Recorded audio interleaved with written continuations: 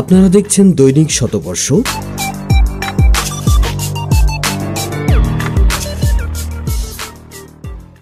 আসসালামু আলাইকুম, দর্শক মণ্ডলী। সকলে অবগত আছি, জাতির জনকের পণ্যভূমি টুঙ্গিপাড়া আসন্ন পৌরসভা নির্বাচন এবং এই নির্বাচনকে ঘিরে দৈনিক শতবর্ষের বিশেষ আয়োজন, নির্বাচনী কথোপকথন অনুষ্ঠানে আপনাদের সকলকে জানাই আন্তরিক অভিনন্দন।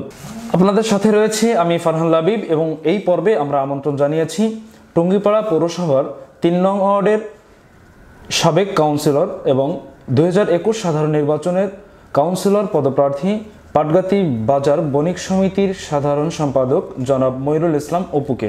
কথা বলব জনাব ময়ূরুল ইসলাম অপুর ধন্যবাদ, ফারহান লাবিব ধন্যবাদ দৈনিক শতবর্ষকে। আমি মাইনুল ইসলাম অপু আমি টুঙ্গিপাড়া পৌরসভার তিন নং ওয়ার্ডের কাউন্সিলর প্রার্থী হিসাবে প্রতিদ্বন্দ্বিতা করতেছি। আমার এই টুঙ্গিপাড়া পৌরসভা যেখানে ঘুমিয়ে আছে জাতির পিতা বঙ্গবন্ধু শেখ মুজিবুর রহমান, যেখানে জন্মগ্রহণ করেছে আমাদের গণপ্রজাতন্ত্রী বাংলাদেশ সরকারের মাননীয় প্রধানমন্ত্রী জননেত্রী শেখ হাসিনা। সেই জন্মধন্য টুঙ্গিপাড়া এই টুঙ্গিপাড়াতে আমি জন্মগ্রহণ করতে পেরে নিজেকে ধন্য মনে করি এবং সেই টুঙ্গিপাড়া পৌরসভার তিন নং ওয়ার্ডের একজন কাউন্সিলর প্রার্থী হতে পেরে আমি আমাকে গর্বিত মনে করি এবং ধন্য মনে করি। আমি এই টুঙ্গিপাড়া পৌরসভার তিন নং ওয়ার্ডের কাউন্সিলর প্রার্থী হিসাবে প্রতিদ্বন্দ্বিতা করে এবং জয়ী হয়ে এই টুঙ্গিপাড়ার পৌরসভার তিন নং ওয়ার্ড তথা টুঙ্গিপাড়া পৌরসভার উন্নয়ন কামনা করি এবং উন্নয়নের ধারা অব্যাহত থাকবে এই আশা ব্যক্ত করছে। আমি আসলে সুন্দরভাবেই মানুষের ভালোবাসা নিয়ে মানুষের দরজায় যাচ্ছি এবং তাদের দুয়ারে দুয়ারে গিয়ে তাদের কাছে ভোটের জন্য যে তাদের সঙ্গে সুন্দরভাবে আলোচনা করে তাদের তাদেরকে বিভিন্ন প্রতিশ্রুতি দিয়ে বিভিন্নভাবেই তাদেরকে বোঝানোর চেষ্টা করতেছি এবং তাদের কাছ থেকে ভালোবাসা পাচ্ছি এবং তাদের মাঝ থেকে অনেক সাড়াও পাচ্ছি। আমি বিগত সময়ে একবার কাউন্সিলর হিসাবে আমি এখানে প্রতিনিধিত্ব করেছি। সেখানে হয়তো আমার কিছু ভুল ত্রুটিও হয়ে- হয়েছে, সেটাও হয়তো কারও কাছে ক্ষমা চেয়ে কারও কাছে ভালোভাবে বুঝিয়ে আমরা সেই ভোটের জন্য মানুষের কাছে যাচ্ছি। এবং আমার যতটুকুনো মনে হচ্ছে যে আসলে ভালো সাড়া পাচ্ছি অনেকেই ভালোভাবে অনেক সুন্দরভাবে তারা আমাদেরকে বলতেছে এবং তাদের আশা আশা আকাঙ্ক্ষা নিয়েই সামনের দিকে আগাচ্ছি। ধন্যবাদ মনিরুল ইসলাম আপনাকে আমি আপনার কাছে জানতে চাইব যে আপনি একজন এই তিন নম্বর ওয়ার্ড থেকে সাবেক সফল কাউন্সিলর এবং সমাজসেবক হিসেবে টুঙ্গি টুঙ্গিপাড়ায় সর্বজন বিদিত। তাহলে আমি আপনার কাছে এ বিষয়ে জানতে চাচ্ছি যে আপনি যখন ক্ষমতায় ছিলেন, অর্থাৎ কাউন্সিলর ছিলেন, তখন আপনার করা উল্লেখযোগ্য অবদানগুলো কি কি? আমার উল্লেখযোগ্য কর্মকাণ্ডের ভিতরে উল্লেখযোগ্য আছে। আমি অনেকগুলো বাড়িতে সিসি ঢালাই যে রাস্তাগুলো, প্রত্যেক বাড়িতে যাওয়ার জন্য এগুলো আমি করেছি। আমার একটা মিশন ছিল যদি আমি হতে পারি। তো আমার ওয়ার্ডের ভিতরে খাবারি নামে, বড় খাবারি নামে একটা মসজিদ আছে, খাবারি জামে মসজিদ। এই মসজিদের যে ফ্লোরটা এটা খুব খারাপ অবস্থা ছিল। এমনি কোনোভাবেই একটু ইটের উপরে পাটি দিয়ে কোনোভাবে নামাজ পড়া হতো। আমি সেটাকে টাইলস দিয়ে উন্নয়ন করে সেখানে নামাজের ব্যবস্থা করেছি। এবং আমার তিন নম্বর ওয়ার্ডের যে মোল্লাবাড়ি জামে মসজিদ যেটা, এই মসজিদের অজুখানার যে ব্যবস্থা আমি করেছি। আমাদের যেটা হচ্ছে সাবরেজিস্টার জামে মসজিদ, এই মসজিদের টয়লেট সুবিধাটা ছিল না। এই মসজিদের টয়লেট ব্যবস্থাটা আমি করেছি।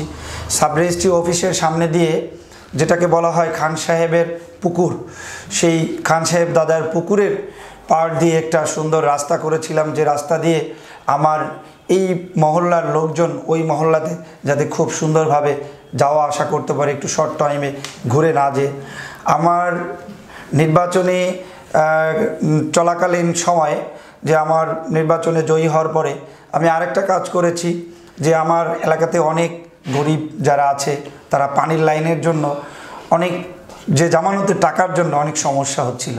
আমি অনেকের জামানতের টাকা দিয়ে তাদের বাড়িতে বাড়িতে পানির ব্যবস্থা আমি করেছি। আমার নির্বাচন নিয়ে জয়ী হওয়ার পরে আমাদের, আমার ওয়ার্ডের ভিতরে একটা ফকির বাড়ি নামে একটা বাড়ি আছে। এই বাড়িতে বিদ্যুৎ ব্যবস্থা ছিল না। আমি বলেছিলাম আমি হওয়ার আগেই আটটা ঘরে বিদ্যুৎ দিয়ে দিই এবং বাকি ঘরগুলোতে বলেছিলাম যে আমি হতে পারলে আপনাদের ঘরে ঘরে আমি বিদ্যুৎ দিয়ে দিব। তো আমি আমার সেই ওয়াদা রেখেছি এবং প্রত্যেকটা ঘরেই আমি বিদ্যুৎ দিতে সক্ষম হয়েছি। এ কারণে ওই বাড়িতে বিদ্যুৎ দেওয়ার জন্য দুইটা খুঁটির প্রয়োজন ছিল। আমি নিজ উদ্যোগে নিজ টাকা খরচ করে পল্লী বিদ্যুতের সঙ্গে যোগাযোগ করে আমি সেই বিদ্যুৎ ব্যবস্থা করেছি। ধন্যবাদ মনিরুল ইসলাম অপু। আপনার এই সফল উদ্যোগগুলো বাস্তবায়নের গল্প শুনে আমরা সত্যি আনন্দিত। নির্বাচনী কথোপকথন অনুষ্ঠান মানেই হচ্ছে এলাকার সমস্যা সংক্রান্ত কথা বলা। তো জনাব মইনুল ইসলাম অপু, আমি আপনার কাছে জানতে চাইব, আপনার ওয়ার্ডে বর্তমান চলমান সমস্যাগুলো কি কি রয়েছে?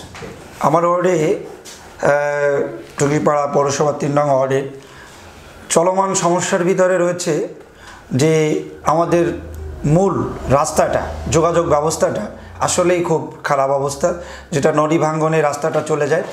আমরা নির্বাচনে আমি আমার মেয়াদকালে আমি চেষ্টা করেছি সেই সময়, বা নদী ভাঙ্গনের কাজ চলতেছিল, নদী যে ব্লগের কাজ চলতেছিল, যার কারণে ওই রাস্তাটা হয়নি।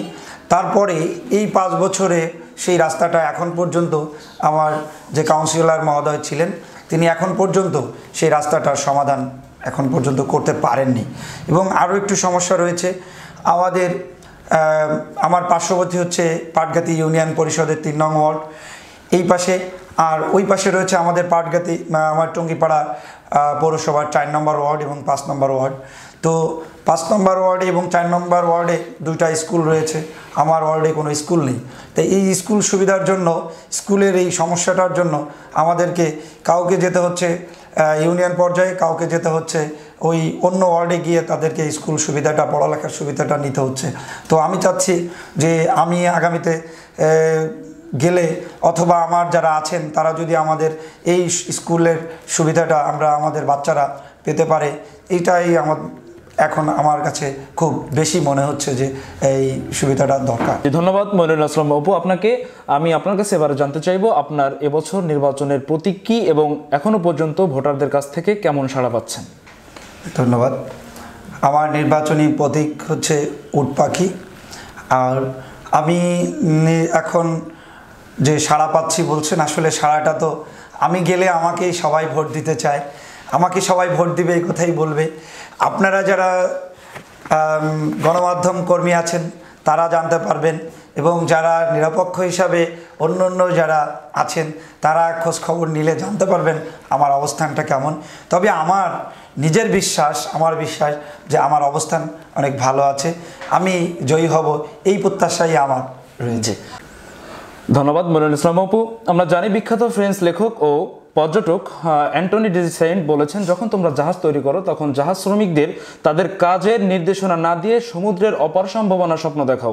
সেই মতানুসারে আমি আপনার কাছে জানতে চাইব, আপনি এখনও পর্যন্ত আপনার ওয়ার্ডের ভোটারদের কতটুকু স্বপ্ন দেখিয়েছেন এবং এই স্বপ্ন বাস্তবায়ন করতে কতটুকু পারবেন বলে আপনি আশাবাদী?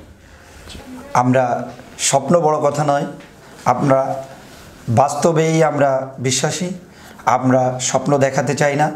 তবে মানুষকে বোঝানোর স্বার্থে আমাদের তাদেরকে বুঝিয়ে বলতে হয়, সেটাই স্বপ্ন যে আমরা নির্বাচিত হলে আমি বা আমরা কি করব জনগণের জন্য।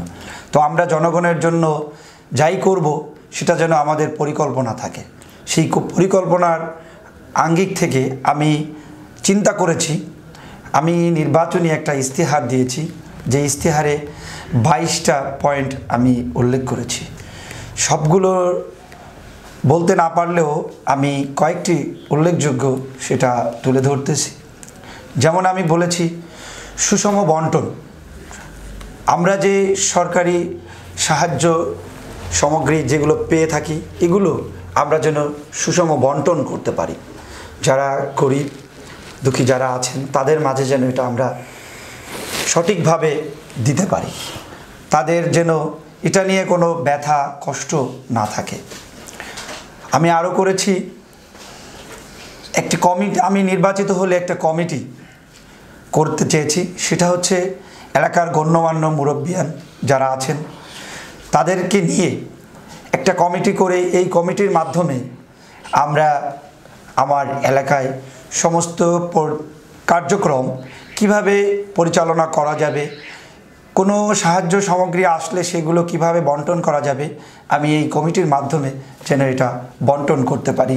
এটা একটা ইস্তেহারে লিখেছি। আমি ইস্তেহারে দিয়েছি যে আমার এলাকায় যেন কোনো মাদক সন্ত্রাস যাতে না থাকে। আমি চেয়েছি একটা শিক্ষিত সমাজ, একটা সুন্দরভাবে এলাকার মানুষ যাতে শান্তিতে ঘুমাতে পারে, শান্তিতে বসবাস করতে পারে।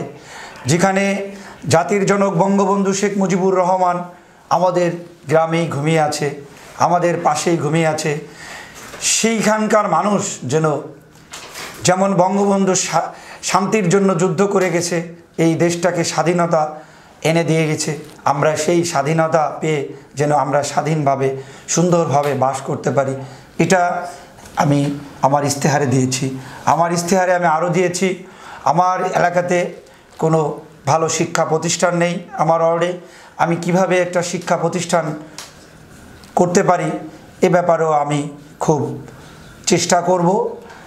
আমি আরও বলেছি, আমার এলাকার যোগাযোগ ব্যবস্থার জন্য যে মূল রাস্তাটা রয়েছে, টুঙ্গিপাড়া পৌরসভা তিন নং ওয়ার্ডে যে রাস্তাটা রয়েছে এই রাস্তাটার মাঝখানে একটা বড় ধরনের সমস্যা রয়েছে নদী ভাঙ্গনের। আমি নির্বাচিত হতে পারলে যত দ্রুত সম্ভব এই রাস্তাটাকে আমি যা আমার পৌরসভার যে মেয়র থাকবেন আমাদের যে গণপ্রজাতন্ত্রী বাংলাদেশ সরকারের মাননীয় প্রধানমন্ত্রী আছে ওনার সঙ্গে আমার মেয়র মহোদয়কে নিয়ে যত দ্রুত সম্ভব এই রাস্তাটাকে সুন্দরভাবে করার। আমি আরও একটা আহ, প্রত্যাশা করেছি। আমাদের যতগুলো আমার এলাকায় যতগুলো মসজিদ আছে, এই মসজিদগুলোতে যে আমরা যাতে সুন্দরভাবে নামাজ, নামাজের জন্য, নামাজের স্থানগুলোতে যাতে আমরা যাওয়া আসার জন্য এই মসজিদের কীভাবে উন্নয়ন করা যায়, এই মসজিদে ভিত্তিক যে শিক্ষাক্রম, শিক্ষা কার্যক্রম আছে আমার ইসলামিক ফাউন্ডেশনের যে মক্তবগুলো আছে, এগুলো যেন সুন্দরভাবে পরিচালিত হয় এবং প্রত্যেকটা মসজিদে যেন এই শিক্ষা কার্যক্রমটা চালু থাকে, এটাও আমার ইস্তেহারে দেওয়া আছে।